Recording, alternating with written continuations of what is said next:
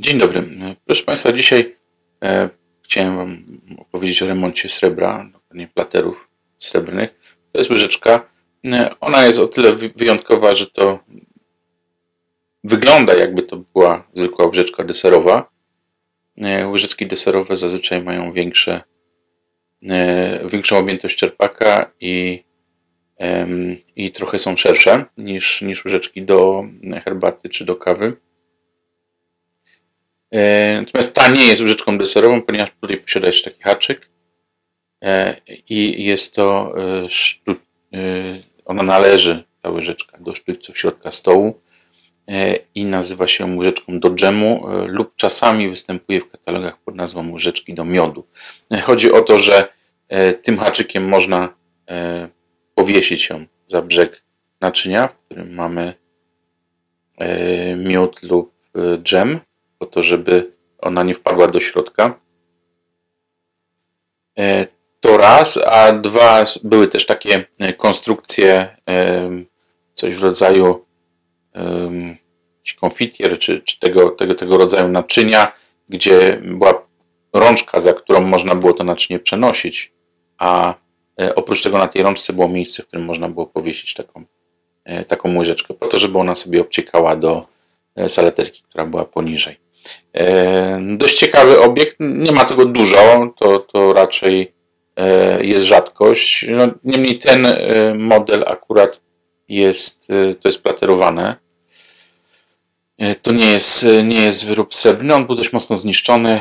Widzicie na fotografiach, udało się go doprowadzić do takiego stanu. Może to nie jest idealne, ona miejscami tutaj ma takie dość głębokie wrzery, no, ale niestety no, trzeba pamiętać, że pokrycia z metali szlachetnych E, zabezpieczają bardzo dobrze przed czynnikami zewnętrznymi, e, ale tylko do momentu, w którym nie zostaną uszkodzone. Jeżeli e, powłokę srebrzenia, złocenia, rodowania, platynowania czy jakiegokolwiek metalu szlachetnego uszkodzimy, a pod spodem znajduje się metal nieszlachetny, to w obecności jakiegokolwiek elektrolitu, czyli na przykład wody,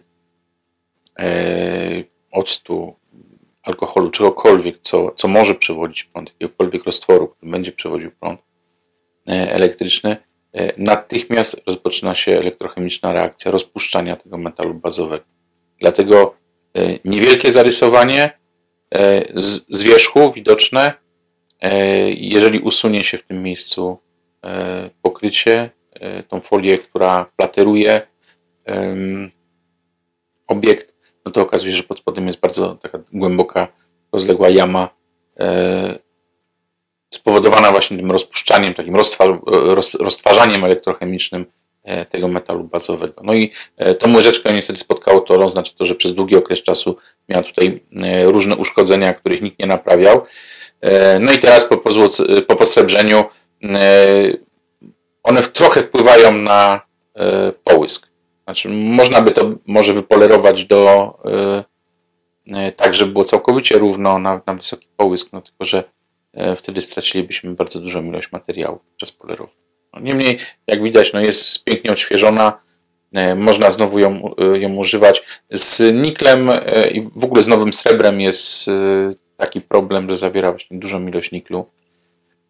I są ludzie, którzy są bardzo uczeni na nikiel i oni nawet skarżą się, że jedząc e, sztućcami, które są, które są wykonane, e, sztućcami wykonanymi z miedzioniklu, e, czują no, coś, co nazywają smakiem, albo że, że ich parzy w język, tego rodzaju odczucia. Nie wiem, nie znam tego, bo, bo, nie, bo nie jestem, na szczęście nie jestem uczony na nikiel.